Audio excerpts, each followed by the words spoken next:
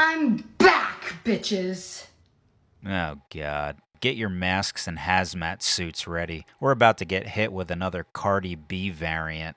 And I don't want to hear. I'm acting different.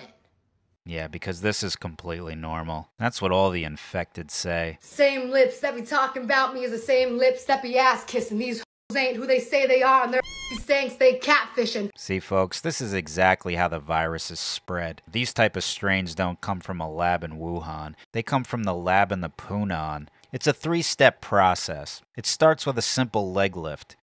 The second step is reciting Cardi B lyrics to summon it from the chamber. And these ain't who they say they are, and they're stinks they catfishing. Once it's released, a light amount of twerking is required to fan the fumes into the atmosphere. Same hoes that was sending shots, they reaching out, they're back itching. Yeah, we're all itching right now. That seems to be one of the symptoms. Ugh, cases are spiking all over the country, too. They're spreading it in grocery stores, parks, malls. It's gotten so bad internment camps have been popping up in all the major cities. Apparently, they've been rounding up as many as they can to keep them off the streets until an effective cure is developed.